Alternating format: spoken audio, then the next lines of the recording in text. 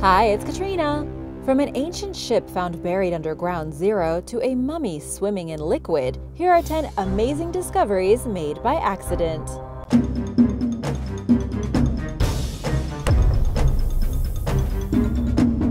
Number 10. The Girl in the Backyard. A San Francisco contractor doing a bit of work in a client's backyard discovered a casket that contained the body of an unidentified little girl. The casket was made from metal and had two viewing windows in the lid, kind of like Sleeping Beauty. The casket was sealed, preserving the body of the girl inside, but the mystery here was that the coffin appeared to come from the 1800s, meaning it had been buried in the client's backyard for possibly 200 years. The discovery of the mysterious coffin became a huge story in San Francisco in 2016, but it wasn't until sometime later that DNA evidence uncovered the identity of the deceased. According to ABC News, the girl was identified as Edith Howard Cook, who died on October 13, 1876, at the young age of only two. She had been buried in her family plot back in 1876, but that family plot later became the site of a residency in San Francisco's Lone Mountain neighborhood. All burials stopped in 1902. Most of the remains were exhumed and then transferred to a new cemetery, but apparently the body of Edith had been left behind. She stayed under the ground until the unfortunate contractor dug her up. The funeral home records from the 1800s showed the girl's cause of death as something known as marasmus, which is an old term used to describe undernourishment. Researchers have said that the awful conditions of urban living in the 1800s and possibly an infectious disease led to her ultimate death. The young girl has since been provided with a proper burial and grave plot in Colma's Green Lawn Cemetery. Number 9. Mysterious River Cubes. A magnet fisherman recently pulled 60 mysterious cubes out of a river in England. Nobody knows what they are, how they got into the river in the first place, or where they even came from. Each of the 60 cubes found by the fisherman and his sons depict what experts believe are sacred numerical inscriptions written in Sanskrit. The blocks appear to be made out of lead, they are small enough to hold between your finger and thumb, and each one is decorated with a neat grid and curious writings. As you can imagine, there was some confusion over what exactly the fisherman had found. In a desperate attempt to make some sense out of the cubes, he posted pictures of them to social media. He immediately got some responses, and it turned out that the cubes may have been connected to a type of Hindu prayer ritual. They definitely appeared Indian in origin, and the writings on them could have been incantations used for prayers, which were only effective when throwing the cube into running water. Of course, there is still the mystery of how Indian prayer cubes got lost in a rural English river, as well as just how long they have been there. Number 8. The Buried Ship The last place anyone expected to find a buried ship was underneath Ground Zero, but when construction began on the One World Trade Center, deep underground, workers once again hit something surprising. It was the hull of a ship underneath the ground where the New York City World Trade Center once stood.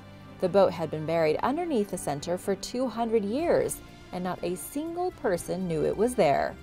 According to CNN, the boat has since been traced back to Philadelphia in the colonial era.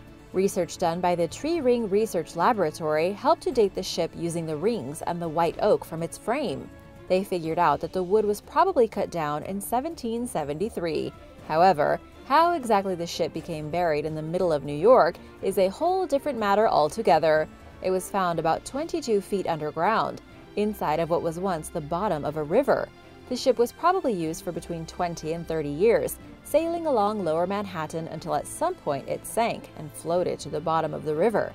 Then it was eventually covered over by trash and fill material that was used to extend the shoreline of Manhattan in a big project to expand the island. Many years later, the World Trade Center was built on top. Number 7. Egyptian Mummy Workshop While performing some ordinary archaeological digs near the Unas Pyramid in Memphis, the old capital of ancient Egypt, experts stumbled upon an extraordinarily rare and very unexpected discovery. They found a mummification workshop that dates back 2,500 years. The workshop had likely been used in rituals to embalm and prepare dead bodies for mummification and their journey into the afterlife. The workshop was found with an embalmer's toolkit, including pottery vessels, measuring cups, and other interesting paraphernalia. The workshop was probably used between 664 and 404 BC, and archaeologists are now hoping that they can learn more about the embalming process and mummification from the 26th dynasty. Head of the mission, Ramadan Hussein, told reporters that the workshop is a gold mine of information. Many of the embalmer's leftover artifacts should be able to help modern scientists figure out the chemical composition of many of the oils used in the mummification process. There were even mummy masks discovered and silver masks from Egyptian priests, along with jars that would have been used to keep organs inside after they were extracted from the dead. Number 6. The Sarmatian Warrior Woman Russian archaeologists have unearthed a very impressive tomb with some serious historical significance. They discovered the tomb of a Sarmatian female warrior who apparently worshipped fire. The tomb was discovered complete with 100 arrowheads, a collection of knives, a sword, and a horse harness. All of these artifacts have led researchers to believe the woman was a warrior. She was also found with gems, gold, and other jewelry that indicates a high social status. If you're not sure who the Sarmatians were, they were nomadic people who lived between the 5th century BC and the 4th century AD throughout Moldova and Ukraine, as well as Russia and Iran. These were not to be confused with the Scythians. The Sarmatians were different in that they worshipped a god of fire instead of a god of nature, and of course they had a few other cultural differences. The women often fought alongside the men in war and battle. If they were married, they would be buried along with their spouses. According to experts working with the Institute of Archaeology at the Russian Academy of Sciences, there were 29 burial mounds accidentally discovered during the construction of a new airport. The construction crews clearing out the large area came across many of these mounds that were already in bad shape. Most of the tombs had already been pillaged, and so finding the warrior's tomb fully intact and full of artifacts was a huge surprise. What's your favorite ancient civilization that not many people know about? Let me know in the comments below. Number 5. Indigenous Ritual Pillar Some unexpected historical treasure was recently discovered on a beach in Victoria, Vancouver Island. A pillar that apparently belonged to a local indigenous group was found by a person wandering along Dallas Road Beach at low tide. According to the Royal BC Museum, the pillar was indeed a genuine indigenous artifact, it was believed to be a Lekwungen ritual stone pillar used in ancient ceremonies such as puberty rites, feeding of the dead, and to celebrate the first salmon. After its initial discovery, indigenous leaders in the area became very excited about it. The chief of the Songhees Nation told local news media that the discovery of the pillar was a clear reminder of the long history of the indigenous people living in the region. As for where exactly the artifact came from, it was initially believed that it had been perched on a seaside cliff, but at some point in the 20th century, it had fallen into the ocean, where it eventually appeared on the shore. However, the excitement soon turned to controversy when a local artist came forward to say that it was not actually an artifact at all, but simply a piece of stone that he had carved for fun. The First Nations elders were not able to see the pillar for themselves due to COVID restrictions, and the artist could not be reached for comment. The local museum was forced to go back and properly test the statue to see how old it truly was, and as of right now, the whole thing has turned into a local disaster. The museum has reported that they have worked with the First Nations for many years and seem to have good reason to suggest the pillar was from the territory. For now, the pillar is being hidden away until they can figure it out. Number 4. The Head of Hermes Roadwork in Athens uncovered yet another outstanding archaeological treasure. This wasn't a mummy or a secret tomb, it was instead the severed head of Hermes. Of course, it wasn't a real head of flesh and bone, but the likeness of the Greek messenger god. The head was found underneath Aeolus Street, which in ancient Greece would have been at the very heart of the bustling city of Athens, and to this day is a public thoroughfare used by pedestrians. Naturally, this street has been excavated before.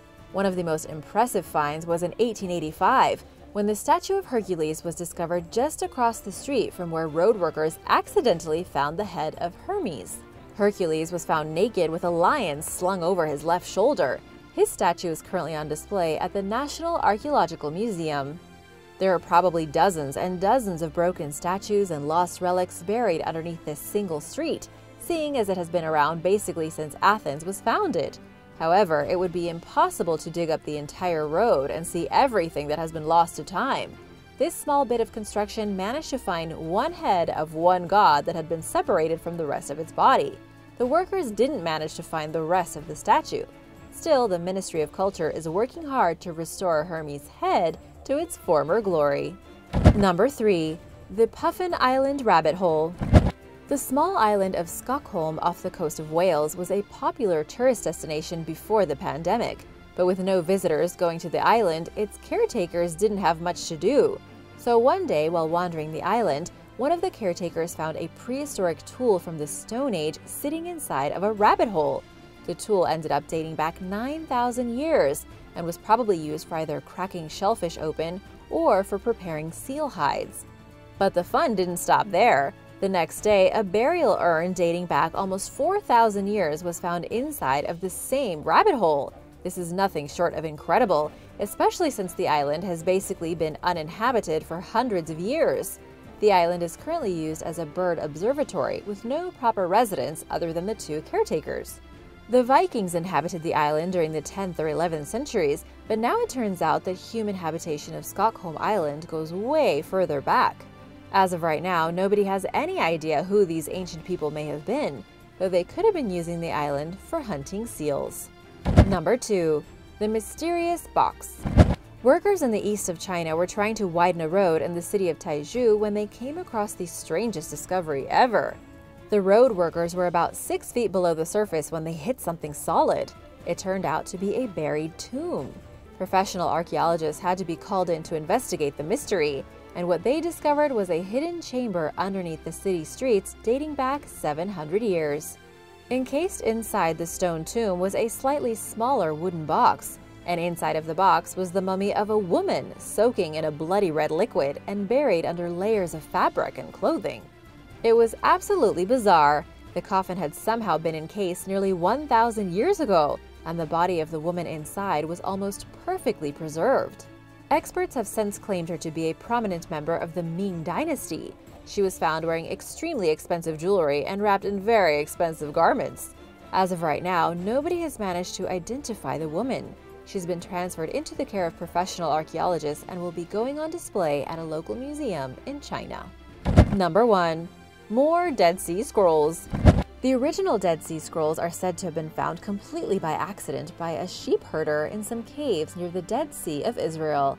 That was back in 1947, and they are still one of the most important archaeological finds of the 20th century. But now there's more! The Israel Antiquities Authority recently announced in late 2020 that even more of these mysterious biblical scrolls have just been found in the Judean desert, and it's the first time that additional fragments of Dead Sea Scrolls have been found in over 60 years. The findings came while Israel authorities were checking out a desert cave system, but they had never imagined that they would find even more amazing relics. All they were doing this time was running a typical survey of desert caves and ravines, a survey that has been going on since 2017. It was assumed that all the Dead Sea Scrolls were already taken by thieves or looters, and that there was nothing big left to find. Archaeologists were looking for tiny things that looters may have missed. The missing pieces of the Dead Sea Scrolls were found inside of what has been called the Cave of Horror. 20 fragments were discovered, and now the number has gone up to 80, all dating back to the 1st century AD. Some of the fragments include texts from the Book of the Twelve Minor Prophets, written in Greek. They might be missing pieces from a larger group of scroll fragments found in the Cave of Horror. But why is it called that? When it was discovered in 1952, the cave was filled with the remains of 40 men, women, and children, all of which had apparently been hiding from the Romans back between 132 and 136 AD. These people had likely starved to death hiding in the cave. Also, the only way to get inside the cave is by spelunking 262 feet below a cliff using climbing equipment. Definitely a thrill for archaeologists who want to spice up their day. Thanks for watching! What's the craziest thing you've ever found by accident? Let me know in the comments below, and don't forget to hit that subscribe button if you haven't already. See you soon! Bye!